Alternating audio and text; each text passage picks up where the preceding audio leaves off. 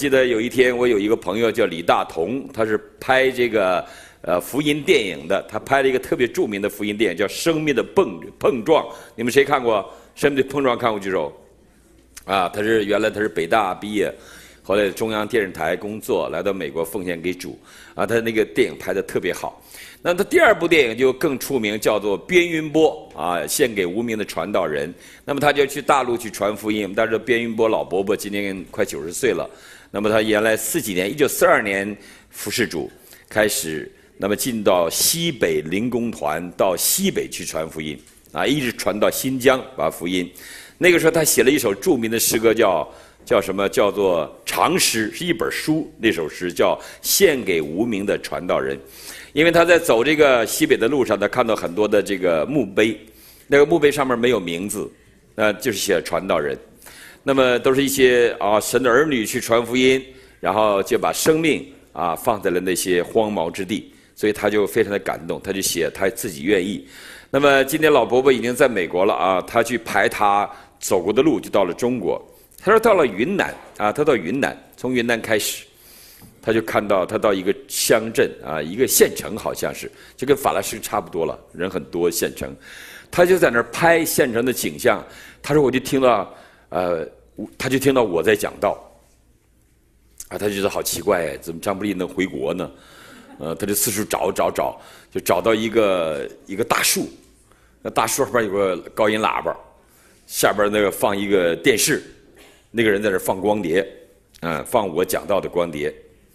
哇，这个人真的是勇敢呐！旁边就是城管，还有警察，他也不在乎，他就在那放啊。他说：“我就在那儿讲完了，他在那就很感动，他就录。看到很多人在买那个光碟啊，五块钱一片，啊，没有版权嘛，我从来没拿过的版权，你知道吗？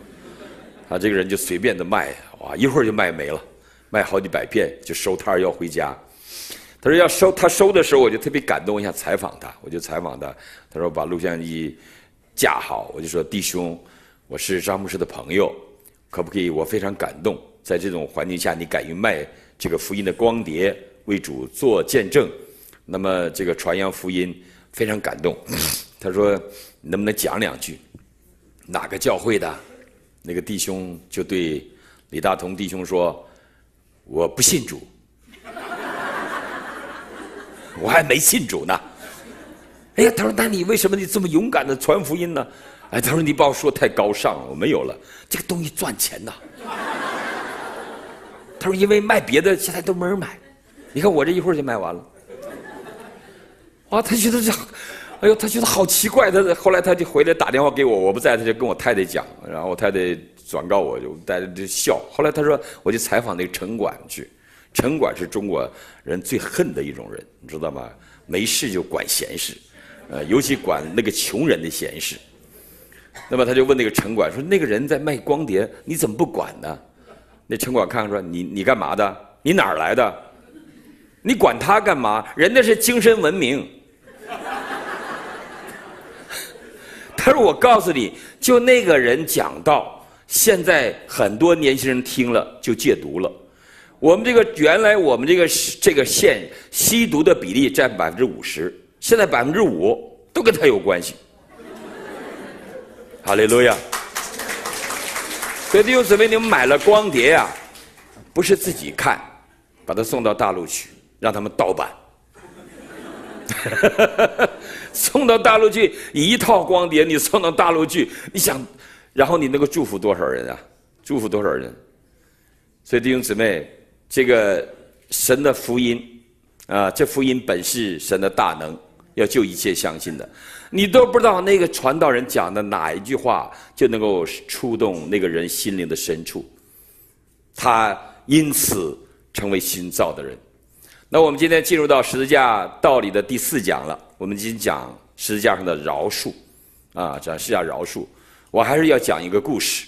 啊我的神学院的老师告诉我，讲道之前先讲个故事，要不大家我第一天就没讲故事，大家听的就快快睡着了。那么这 这实际上的道理本来就很非常的吊诡深奥，所以我们又没有故事的，我们就好像大家不太容易听，因为工作一天很辛苦。那么这个故事呢，大家都都基本都熟悉。法国有一个著名的作家叫雨果，他写了一部著名的书叫做《悲惨世界》，读过的举手，有多少人读过的？啊，请放下。没有读过、看过电影的举手。啊，哎，年轻人都看电影，年纪了长的都读书。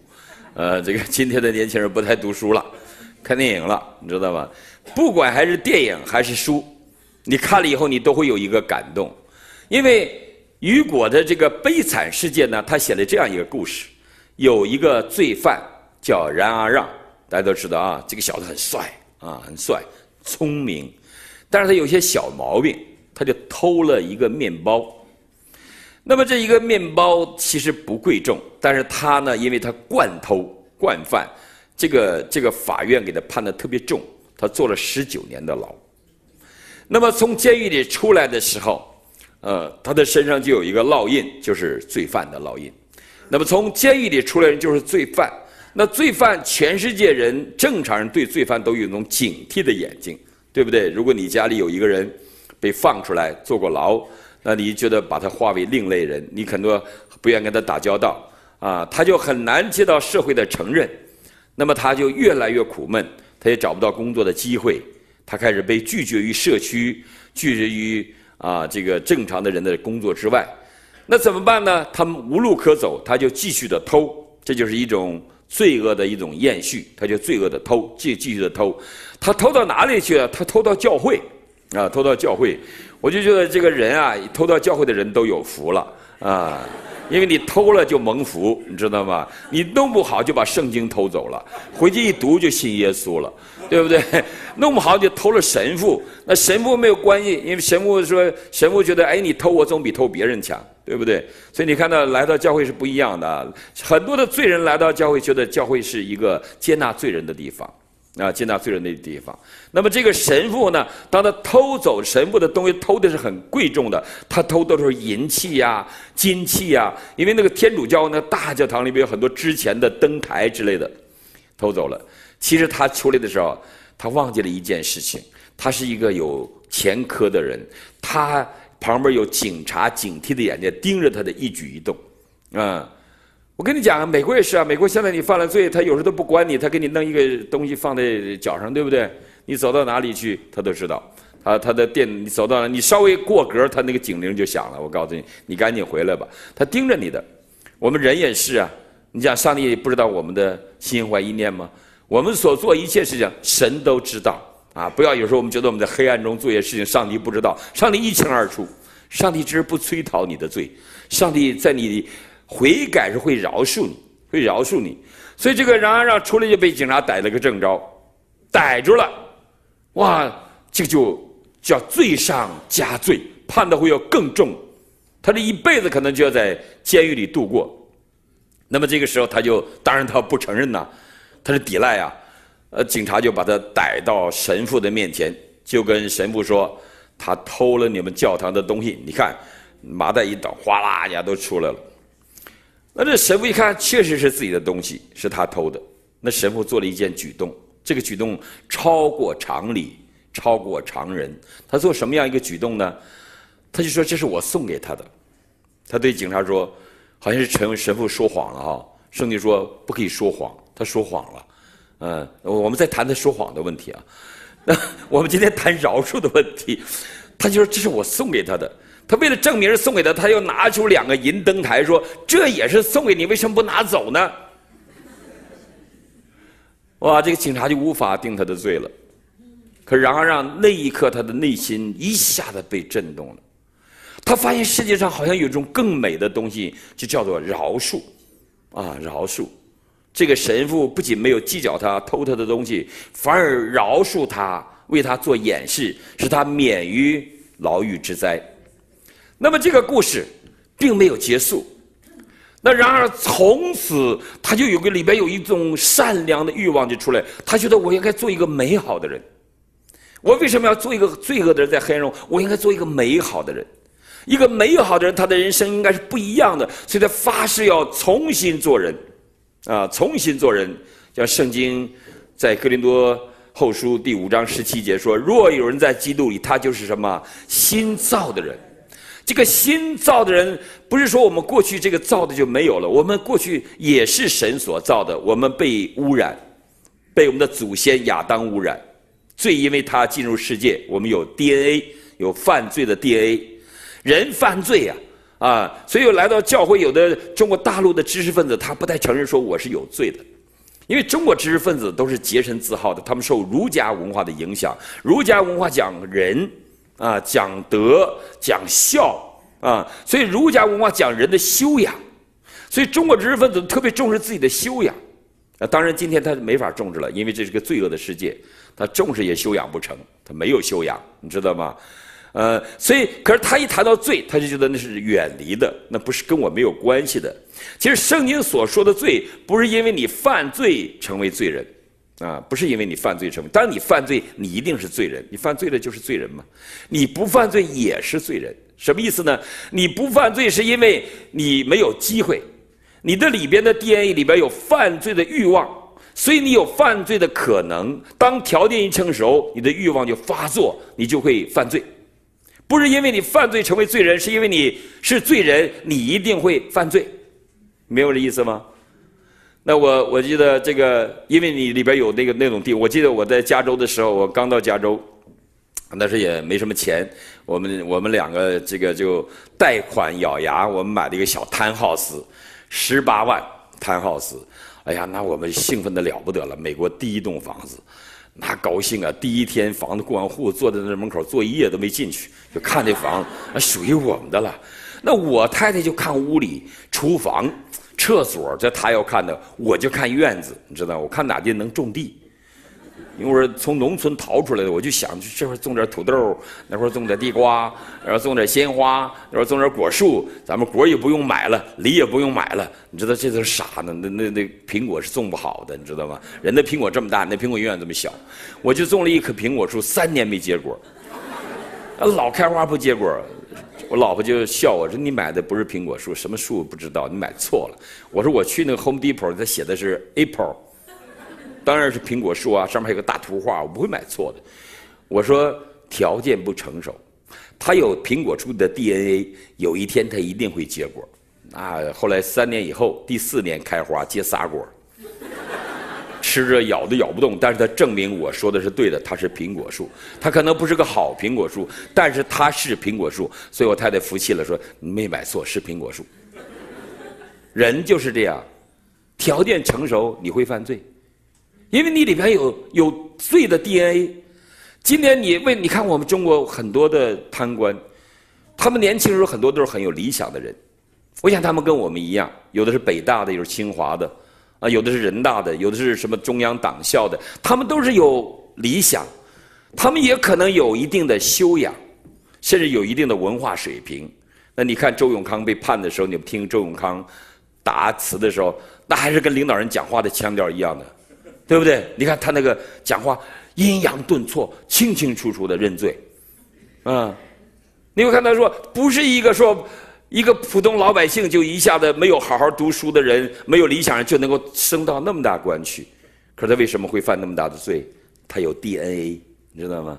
有犯罪的 DNA，他条件成熟了，他管全国的法律，他凌驾于法律之上，他像个法律的太上皇，法律被他建在脚下，法官被他建在脚下，他想判谁死刑就判谁死刑，他想杀谁就杀谁。你知道我们有一个，我们教会有一个作家叫于杰。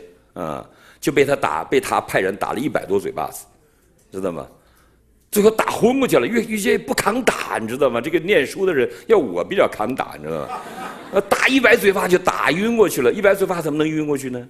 一般晕不过去嘛，对不对？然后就给他送到医院抢救，医生说不行了，我们救不了。昌平县说送到北京去了。到北京协和医院说再晚来半个小时，这小子就死了，那就又酿成国际事件。啊，于杰不得不来到美国。原来他不想来的，来了跟我说：“这真的是怕打呀，真狠的这周永康往死打呀。”那为什么他打他呢？因为他写了温家宝，他写了一本书叫做《影帝温家宝》。你今天看到温家宝，难道不是影帝吗？表演多好啊！弄个小破夹克，出去就穿上，穿了二十多年。弄双破鞋，走到哪里就趟了上，然后家里贪污好几多少亿啊？纽约时报登的二十多亿啊。中国人哪有一个干净的？你告诉我，贾府门口的狮子都是脏的，没有干，因为人人都是罪人，人人都犯了罪，亏缺了上帝的荣耀，所以人们必须回到上帝面前承认我们是罪人，这个民族才有救。人必须承认我们是罪人，这个人才有救啊，人才有救。但是上帝要求我们说，我们要彼此的饶恕。这个冉阿让重新做人做得很好，他到了一个小城市，他就做了那个城市的市长，因为他这个人有才华，又努力，又愿意奉献。后来他赚了很多的钱，他成为当地最大的慈善家。但是有一个人永远不会放过他，这个人叫贾维，是当时的探长，他就觉得冉阿让。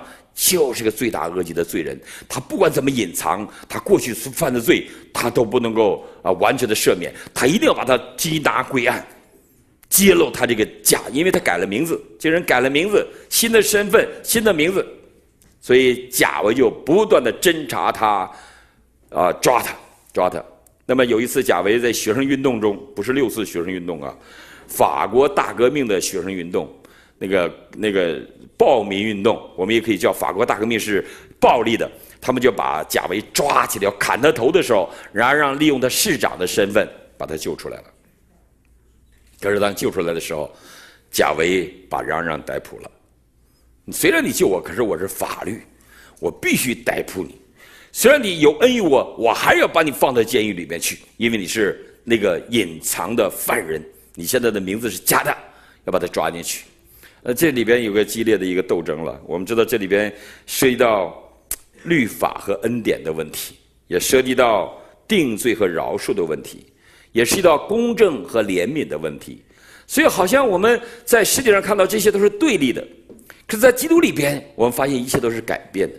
我们知道后来贾维良心发作，但他又他的良心和法律是对立的，他没有办法，他良心。觉得然而是个好人，救了他。可是他的法律知道这是个罪犯，我要把他绳之以法。后来在这种痛苦中，他没有办法，他跳河自杀了。我们知道这是个故事的结局。所以，当我们今天讲到饶恕的时候，我们想到耶稣基督在十字架讲的一句很重要的话，在路加福音二十三章，我们看这段经文，在路加福音二十三章，耶稣基督来，我们投影看三十四节，当下耶稣说。父啊，赦免他们，因为他们所做的，他们不晓得。那么，这是耶稣就在十字架讲的七句话，很重要的一句。这句话谈到赦免，谈到饶恕。耶稣说饶恕谁呢？饶恕那些把他钉在十字架上那些人。那些人不仅把耶稣钉在十字架上，那些羞辱耶稣，他们鞭打耶稣，他们吐吐沫在耶稣的头上，他们在耶稣十字架上钉了一个牌子，写的这是犹太人的王。啊，犹太人的王，他们说你不是神吗？你不是神的儿子吗？你可以下来呀，你下来，啊，你下来证明你是神，啊，所以耶稣在他们受过那么多羞辱的时候，这位上帝的独生子，这位人类的救主，他所做的祷告，他没说父啊，你创造宇宙，你有无限的能力，你说有就有，你命立就灭，立你要灭谁就灭谁，把这帮人都灭了得了，他没有，他就说父啊。赦免他们，啊，他们所做的，他们自己不晓得。这个是爱的高峰。一个人可以爱仇敌吗？基本做不到。一个人可以原谅仇敌吗？可以，但是爱仇敌就做不到。嗯，一个人可以饶恕伤害过你的人吗？这个是一个最难的过程。这个过程可能会在心理学家和医生的辅导下，甚至牧师、专家的辅导下能够进行。如果没有辅导，很难进行，很难进行。不管他们理想是多么一样，啊，不管他们利益是多么一样，可是当他们互相伤害以后，他们就很难饶恕。这种事情我们看你的周围比比皆是。我们教会有一天来个姐妹，啊，我一般来人我都会打电话给她新朋友。啊，我打电话，我我打电话主要是两种人，因为叫人太多，几百人我也打不过来，我就打第一次来的新朋友，而且我看他是住在美国的，住在我们附近的，我就打；他住在住在那个中国的，他来来旅游的，我就不需要打了，因为第一个他回中国，第二他打他不会来我们教会，我就不打了，我没那么多时间那第二，我就打交会给主要的同工、长老、执事、小组长、团级主席，这是我要打电话的。那天我一打电话，这个姐妹接电话，啊，这个我们就谈的，我说到教会感觉怎么样？他说非常好，非常好。这个谢谢你，呃，讲的信息对我有很大的帮助。我说那欢迎你继续来我们教会。他说，但是我告诉你说，我不会再去你们教会的。你说这什么人？这说话不会说话吗？不来拉倒呗，不要明说嘛，对不对？呃，就就以后就不来不见不就完了吗？这，哎，我还满腔热情打电话，人家啪一泼冷水，说不会再去了。那我就说，那你为什么不会来我们教会呢？我们教会哪里觉得不好，我们可以改进，啊，可以改进。如果你说的对，我们可以接受你的建议。他说也没有了，你们都很好，你们敬拜很好啊，你们讲道很好啊，你们这个整个的敬拜的流程非常的好，午餐也不错，都很好。可是你们教会有一个人，我他又在那里，我是不会去的。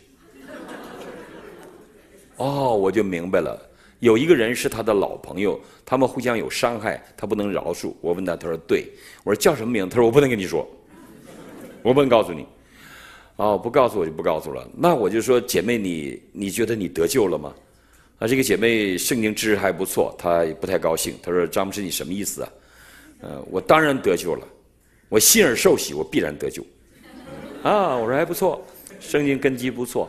我说：“那你会上天堂喽？”她说：“当然喽。”我说：“那你到天堂，你见到那个姐妹在那里，说你在这里，我就离开。”那我说：“我问你，那你去哪儿呢？”哦，他说这个问题我都没有考虑过。啊，那你见到一个得罪你的人，他在教会你可以离开，可如果在天堂，那你离开天堂就地狱啊。那你在这里我就离开，我不会见你的面。所以看来赦免的问题是涉及到我们在永生中的生活，明白？所以在永恒中我们的定位，没有一个人一生没有被别人伤害的，没有一个人一生没伤害过别人的。想一想，你有没有伤害过别人呢？伤害过你妻子没有啊？有，对不对？手机给妻子看看，密码给他。微信的号码、email 密码全要妻子掌管，敢不敢？敢的举手，弟兄，敢的举手。不多嘛。我告诉你，我们家我所有的号码都是我太太设的。我我常忘，我一忘，我昨天在陈弟兄家，我又忘我的 email 密码了。我就打电话给他，我说 email 密码给我一个，都是他设的，全掌握在人手中。我告诉你。那我们姐妹们有没有伤害过弟兄呢？有没有？有，弟兄每天被你训好多次，从早上训到晚上，怎么做都是不合你的心意，嗯，知道吗？对不对？有的，那有没有离婚的？离婚以后见他说话吗？饶恕了没有啊？一想到他就抖，一想到咬碎牙齿，吞进肚子，对不对？他那个人一想到他那种当年那种恶行、发脾气的样子，啊，不给钱，想，怎么一想就发抖？怎么一生遇到这么一个人？啊，这上帝真幽默，把这么一个坏人放在我身边，啊，你看我们有很多的不能饶恕的，很多都不能饶恕的，不容易的。可是声音告诉说，饶恕不是一种感觉，饶恕是一个行动。而且是现在时是必须的行动。我们看一段经文，在马太福音，马太福音第十八章，这个有一段耶稣基督谈饶恕，谈的非常具体的一一一段经文。我们来看这段经文。彼得呢，那个时候耶稣的一个门徒叫彼得，他近前来，来到前面，他对耶稣说了一句话，说：“主啊，在马太福音十八章二十一节。”我的弟兄得罪我，这个指同是信主的人了啊，不是外邦人。我的弟兄得罪了我，我当饶恕他几次呢？到七次可以吗？哇，这个挺了不起，是彼得这句话已经很高尚，对不对？彼得说：“我的弟兄得罪我，我饶恕他几次呢？”主啊，七次可以吗？中国是几次啊？哪有三次两次？有再一再二，没有再三再四。中国就两次，就两次，再三再四是不可以的，再一再二可以，啊，再三再四是不可以的。犹太人几次啊？四次。犹太人按照犹太的律法，一个人得罪你，你可以饶恕他四次。那耶这个彼得是耶稣的门徒，他一定胜过犹太人的律法的。他说我七次，对不对？可不可以？耶稣说不是七次，乃是七十个七次。哇，这个一说，彼得就傻眼了。我想我们一听也傻眼了，我们做不到嘛，七十个七次，我们怎么做得到呢？对不对？那么，耶稣这时候就为了告诉他为什么要饶恕七十个妻子，耶稣讲了一段比喻，他讲了一个故事。他说：“天国好像一个王，一个君王要和他的仆人算账，才算的时候呢，有人带了一个欠一千万银子的来，因为他没有什么偿还之物。”那么主人吩咐把他和他的妻子、儿女，并且所有都卖了偿还。那个时候大家讲耶稣所讲的那个时候，是一种奴隶制度，就是很多的奴隶是没有主权的。其实美国两百多年前也是奴隶制度，黑人就是奴隶嘛，他是属于主人的，主人可以买卖他，主人可以买卖他的。那么这个奴隶他欠了他的君王啊。欠了多少钱呢？一千万银子。很多的牧师讲道就容易讲错，一千万两，其实不是两。你看读圣经，你读四个福音书，从来没说这个两，没说这个量量的单位是两。那么这个量的单位是什么呢？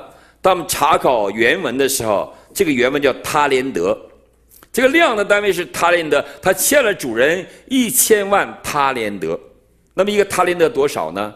啊，我们查过这个这个呃圣经，那我们也查过这个这个呃这个书，我们看到说这个塔林德一个塔林德是在一是国际圣经百科全书里边告诉我们，塔林德是最大的通用货币或重量标准。那么一个塔林德有多大呢？呃，有七十二磅。一个塔林德，那么价值多少钱呢？在一九一五年，一个银塔林德价值是这个一个银塔林德价值是大概是六千一百五十英镑。那么金塔林德呢是三万七千五百美元，金塔林德。那这个如果一千万个塔林德相当于多少呢？如果一千万个银塔林德，他没说金银啊，一千万银塔林德等于两百零五亿美元，一万个金塔林德呢，相当于三千零七十五亿美元。哇，那你要按照这个算，这个人欠的太多了，呃，不管他怎么欠，就是他永远还不清，因为一个人的工作一年二十两银子。这个是有有有有有单位的，二十两，那你十年多少？两百两银子，一百年两千两，一个塔连德还不到，你知道吗？所以他一辈子欠一千个塔连德，那是永远还不清的，那是这么一个数字，一这么一个数字。那么他一千万个塔连德，一千万个银子，他欠一千万，啊，这个人你看欠了多少？他怎么欠的？我也不知道。投资股票，耶稣讲的是个比喻，就是你的，就像我们其实这个欠债啊，我常常讲的债其实就是罪，债就是罪，罪就是不合格嘛，罪就是产品出不来不合格，罪也是不完美，欠别人的债就是不完美，欠别人的债就是罪。那么你欠了那么多的债，一个人犯了那么多的罪，怎么能够自己靠自己的能力还得清呢？洗净的罪呢？不能嘛，对不对？你欠了那么多钱，你也还不清嘛。所以这个比喻，一个罪人在上帝的面前，你的罪如果不靠耶稣的宝血，你靠自己的努力，你永远还不清，就是这个意思。嗯，那这个人当然欠了，把他的孩子卖了，妻子卖了，那能卖几个钱呢？卖不了几个钱，还不清嘛。但是我们看到这段经文很奇妙的之处就在这里。那么那个仆人呢，他讲了一句话。二十五节，那个仆人呢，呃，就伏伏在地拜他。二十二十六节啊，说主啊，宽容我，将来我都要还清。这句话你信吗？一个人欠你那么多钱，单位老总欠的说，你跟老总说，老总你宽容我，我一定会还清。老总要欠一亿美金，你在我这一年的工资才五万美金。你怎么还得清呢？哎，可是这个主人知道你还不清，但是主人就有怜悯之心，就赦免了。主人好了，态度很好，要的就是你的态度。其实我们信耶稣，不管犯什么罪，来到耶稣的面前，耶稣不就要我们一个态度吗？不管我们多少罪，我们来到主的面前，主的宝血就洗净我们，使我们成为新造的人。所以我觉得信主是最合算的一件事情。你想一想，如果按照中国的实用主义来说，信主是最合算的，一分钱都不要付，努力也不要付，只要悔改转向耶稣，诚恳的说：“主啊，赦免我们的罪。”那主就赦免我们的罪了。你看这个王就赦免了他的仆人，啊，把他释放了。因为这王呢，那个仆人的主人就动了慈心，这个慈心就行在。圣经写到慈心的时候，耶稣基督常常用这个词。耶稣动了慈心，啊，动了慈心，把他释放了，并且免了他的债。你看，不仅释放了，还免了，不要了。这多好的一件事情！我们要不要啊？今天你欠债，你回去你跟老板说，我昨天张牧师讲了，在马太福音呢第十八章啊，那个主人免了我的债啊，你要不要免我债啊？呃，圣经说免了我的债，如同我免了别人的债。这还有第二步，你还要免别人的债啊。主导文告诉我们，对不对？呃，我们的父免了我们的债，如同我们免了别人的债。那当这个仆人呢？二十二十六节说，二十八节他出去的时候，他遇见了一个同伴，同伴就是朋友嘛，啊，一起行走人生道路的朋友嘛。那么这个同伴呢，欠他十两银子，这个写的是两。这个不是他连德，对不对？这个是两，这如果他连德，他也还不起啊！欠了他十两银子，十两银子也就是啊半年的工资嘛，半年的工资还是还得清的，对不对？我们省吃俭用，半年是还得清的。那么他就欠了他这么多钱，他就揪住他，掐住他的喉咙。你掐喉咙，你是你掐着旁边人喉咙掐去。你掐一下子就喘不上气儿了，你知道吗？人不能掐掐喉咙就要置人死地，你知道吗？一般人都掐胳膊，你知道吗？那一般你太太打你，她会掐喉咙吗？她不会嘛？她那掐你哪块肉多掐点儿，知道吗？那 哪块疼掐哪儿？她怎么会？你妈妈打会掐你喉咙吗？不会嘛？对不对？你爸爸打你也不会掐你喉咙，都会打你屁股，掐你胳膊，对不对？我小时候我妈爱掐我，我一犯错我妈就掐我。掐轻了，到学校看不出来。说现在美国，你你你敢打孩子吗？嗯，那掐有的时候你看不出来掐哪块儿，可以掐的，你知道吗？嗯，别让他看出来，看着就麻烦了。可以掐的，这个他就掐着的喉咙。他说：“还我钱来！”你看这人多恶，嗯，还我钱来。那么那个人呢，说的跟他同样的话。欠他钱的人说：“呃，怎么说？”央求说：“宽容我吧，将来我必还清。”是不是跟他说的一样的话？宽容我吧，将来我必还清。那么这个人说的话是不是可信的？可信，因为他是还得起的。他只有十两银子，可是这个人不干，现在就还我。啊，这个他忘记了刚刚他的主人赦免了他，免了他千万银子，千万他连得的银子。那么现在别人欠他十两银子，他就掐住人的脖子就不饶了。你看今天这个人，我们人是不是有的时候是这样子的？上帝给我们很多的恩典，赦免我们的罪，使我们成为新造的人。那我们却不能够爱我们的弟兄姐妹，我们却不能爱我们的妻子，爱我们的儿女，爱我们的丈夫。我们还在回来计较，到教会赞美神呐，哇，赞美的流着眼泪，很喜乐。回到家里就吵架。嗯，遇到多少这种，知道吗？嗯，然后见着别人都能饶恕，就是亲人不能饶恕。饶恕谁都很容易，就饶恕老婆不容易，饶恕老公不容易。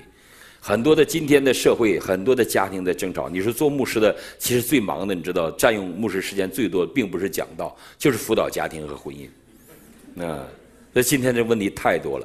你做一个牧师，你会体验到千奇百怪的案件。哎呀，这些案件你拿到法官，它不属于法律问题，你知道吗？你拿到那个呃教会，它不属于道德问题。那后来我想什么问题呢？很多都是技巧的问题，不知道怎么去面对一个小的问题。其实夫妻吵架吵来吵去，最后你知道吵什么他都忘了，为什么吵是忘了？啊，你问你问的，哎，你们吵架吵成这样，为什么？哎，咱们为什么吵架了？忘了。但是吵的越吵劲儿越大，越吵火越大，对不对？吵吵离婚，离就离，谁怕谁？什么了不起？啊，有本事你签字，签就签，啊，对不对？你拿来我就签，那那也不知道到哪去拿，反正就吵，啊，吵完就打打电话牧师，啊，这还不错，啊，还有打电话叫警察的，找警察你就惨了，我告诉你，立刻带走。找牧师没问题，牧师不会带走你，啊，还得劝你。你要找警察，你就惨。找警察的婚姻，没有几个再能维持下去的，因为那伤害就更大。警察来了，咔嚓家铐住一个，你知道吗？呃，这个男的女的管你呢，反正一般都靠男的，女的女的很少被铐，对不对？把男的咔家一铐，然后扯扔到黑屋里边去，家关的旁边一睁眼全是黑人。吓得就哪儿都是黑的，一看，待两天回来，那心里也变黑了，恨死老婆了。我告诉你，这什么老婆，把他扔到监狱里面去。嗯，我大年三十我都到监狱里去接过人，嗯，啊，老婆把老公扔到监狱过那三十过三十然后这个老公就通过人打电话说：“你能不能把我救出来啊？”我说：“那你得老婆点头啊，老婆点头你出不来。”他说：“出来我就不跟他过年的，我得到你们家过年去。”我们家过三十，他到我们家来过年，那我就得去接他呀，啊，到监狱把他保出来，啊，保出来。你像这种事情伤害很大的弟兄姊妹，所以在人生的道路上，我们遇到一些的伤害不同意见的时候，我们一定要学习赦免。